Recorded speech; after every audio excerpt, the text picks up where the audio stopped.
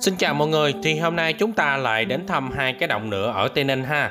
Như hôm trước thì mình đã chia sẻ với mọi người biết đến đó là Thiên Hỷ Động rồi. Thì hôm nay chúng ta lại đến đó chính là Địa Linh Động và Nhân Hòa Động.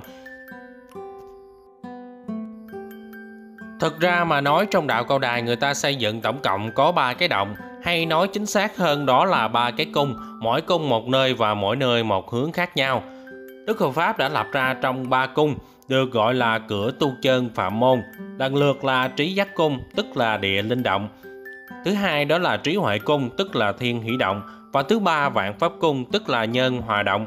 Về mặt hình thức cũng như là sự tượng trưng thì chúng ta thấy rất rõ có thiên, có địa và có nhân, có trên, có dưới và có ở chính giữa.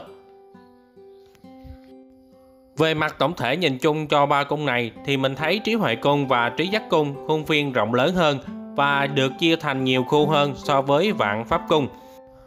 Theo nhiều thông tin mình tìm hiểu thì lúc khai phá và xây dựng khu vạn pháp cung này cũng rất rộng lớn, nhưng ngày nay thì rất nhỏ. Vạn pháp cung thì nhìn rất đơn điệu, không có gì đặc biệt cả. Và lại khu này dường như là đóng cửa hoàn toàn. Mình có đến đây nhưng cửa khóa không có lối vào và rất ít người canh giữ ở khu vực này so với hai cái cung còn lại. Vạn Pháp Cung Nhân Hòa Động nằm tại ấp Ninh Tân, xã Ninh Sơn, Tây Ninh. Đạp tại chân núi ở phía nam của núi Bà, cách tòa thánh Tây Ninh 9 km. Dùng làm định thất riêng cho Nam Phái ngày 12 tháng 6 năm Mậu Dần, tức ngày 9 tháng 7 năm 1938. Đức Hộ Pháp cùng vài môn đệ đi tìm mua khai khẩn đất tạo dựng cơ sở Sơn Điền. Vào ngày 28 tháng 10 năm Giáp Ngọ, tức ngày 23 tháng 11 năm 1954, thì Đức Hộ Pháp đi vào Sơn Điền để định chỗ xây dựng tịnh thất lấy tên là Vạn Pháp Cung, Linh Sơn Động. Sau đổi lại là Nhân Hòa Động để phù hợp với Thiên Hỷ Động và Địa Linh Động, cho đủ tam động, đủ tam tài, thiên địa nhân.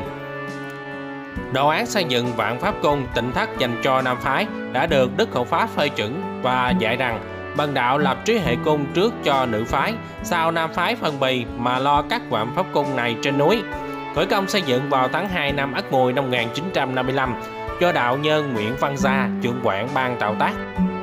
Ngày nay sau khi giao một phần đất cho khu du lịch nước Bà và làm nghĩa trang liệt sĩ, Vạn Pháp Cung được xây dựng một ngôi bổ điện thờ Đức Chí Tôn và một ngôi bổ điện thờ Đức Diêu Trì Kim Mẫu và một ngôi anh linh cổ tánh để thờ các vong hồn được nhập môn vào đạo.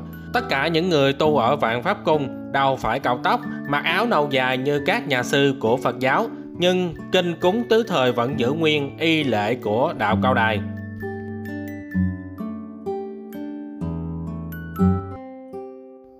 Và rồi chúng ta chia tay với vạn pháp cung, chúng ta đến với trí giác cung ha. Trí giác cung hay còn gọi là địa linh động thuộc tòa thánh Tây Ninh, tọa lạc tại ấp Trường Thiện, xã Trường Hòa, huyện Hòa Thành, Tây Ninh, cách tòa thánh Tây Ninh khoảng 3 km về phía đông nam, dùng làm tịnh thất cho cả nam và nữ phái. Trên lộ Trung Hòa có hai bản hiệu, cổng trước vào điện thờ Đức Mẹ và hộ Pháp Đường, bên tả và hữu đều có chữ đạo Pháp vô biên. Chính giữa cổng ấy đó là tòa Trí Giác Cung. Có cổng vào riêng biệt, Trí Giác Cung là một tòa nhà biệt lập, có khuôn viên riêng biệt, nhưng trong vòng rào bao bọc của đền thờ Phật Mẫu. Và trên chính điện của Trí Giác Cung có đôi liễn Trí Linh Quán Thế Thiên Cơ Đạt, Trí Hệ Siêu Phàm Đạo Pháp Thông, để hiểu rõ hơn thì chúng ta đi tìm hiểu lần lượt ý nghĩa của từng câu ha. Trí đó là sự khôn ngoan và hiểu biết, linh là thiên linh, quán là xuyên suốt, quán thế là xuyên suốt việc cõi đời. Thiên cơ chính là mái trời, đạt là thông hiểu, và từ đó ý nghĩa của câu thứ nhất là sự khôn ngoan, hiểu biết thiên liêng, thông suốt việc đời, thông hiểu mái trời. Ta đến với câu thứ hai, giác huệ siêu phàm đạo pháp thông, Giác là biết rõ không mê muội, huệ là thông hiểu về xử lý.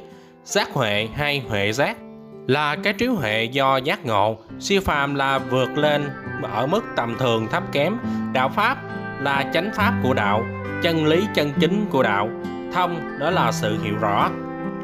Đối với câu thứ hai đó là cái trí huệ giác ngộ siêu phàm và thông rõ đạo pháp. Khu đất này trước kia là cơ sở của trường Quy Thiện do ông giáo thiện Đinh Công Trứ quy tụ các bạn đạo Minh Thiện Đàn ở Phú Mỹ tức là Mỹ Tho về tòa thánh sáng lập vào ngày 26 tháng 9 năm Quý 10 tức ngày 24 tháng 10 năm 1943. Trường Quy Thiện có các cơ sở phước thiện như nhà Minh Thiện nè, khách thiện đường, y học, y tế, bảo xanh, bảo đường và các cơ sở nông tàn, công nghệ, thương mại. Đặc biệt các đền thờ Phật mẫu, Củ Vị Tiên Nương và Bạch Văn Động Chư Thánh ngày 14 tháng 8 năm Bính Tuất, tức là ngày 9 tháng 9 năm 1946. Đại lễ cúng Đức Phật Mẫu đầu tiên được tổ chức tại Báo Ân Từ. Thì cái nghi lễ này tức là hội yến diêu trì cung mà rằm tháng 8 hàng năm hay tổ chức tại điện thờ Phật Mẫu ngày nay.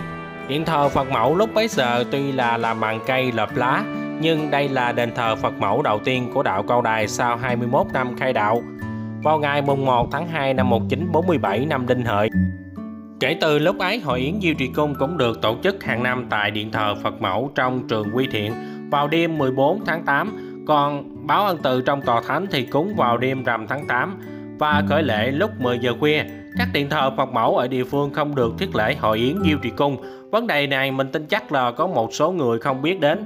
Đa phần là người ta chỉ biết đến hội yến diêu trì cung tại tòa thánh cao đài mà thôi. Sau khi ông Đinh Công trứ mắt qua bốn đời cai quản, Đức Hậu Pháp tổ chức rước long vị Đức Phật mẫu cùng với lư hương đất thiên tại đền thờ Phật mẫu ở Quy Thiện Đường về nơi báo ân từ trong nội ô tòa thánh. Ngày nay là đối diện với bá hơi viên, là công viên trong chùa. Nghi thức lễ diễn ra thật long trọng, có bàn hương án, long mã, dùng hai dàn nhạc, hai bộ lễ, có đủ lôi âm cổ và bạch ngọc chung, chất sắc hiệp thiên đài, củ trùng đài, đủ ba phái.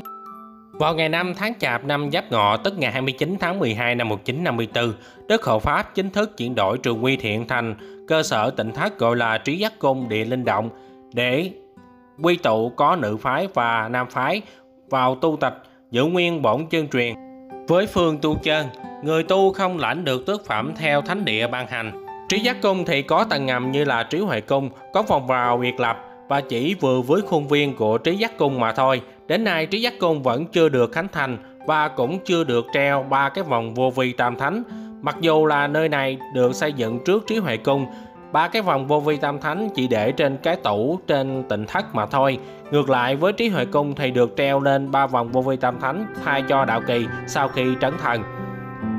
Trong 3 năm ròng rã ở trí chắc cung, điện thờ phật mẫu được xây dựng kiên cố theo kiểu thánh thất có hai tầng, có lầu chuông và lầu trống. Và ngày nay trong trí giác cung, bên trái thì thờ đức khai pháp trần duy nghĩa và bên phải đó chính là tịnh thất.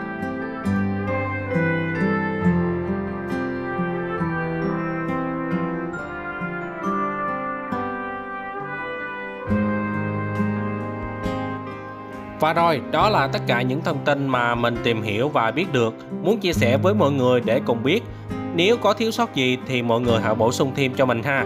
Xin chào và hẹn gặp lại các bạn ở những video lần sau nha.